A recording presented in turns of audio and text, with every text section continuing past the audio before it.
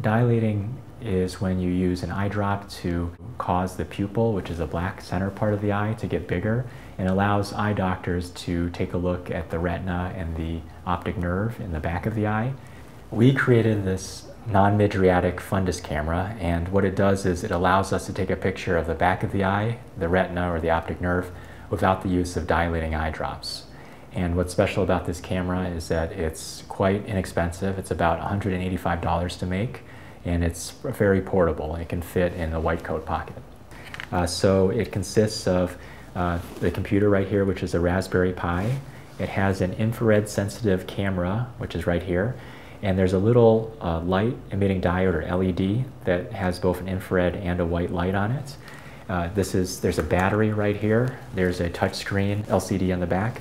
And there's a physical shutter button on the top, just like a DSLR camera. We hope that in the future, we would have a device that's very small, very portable.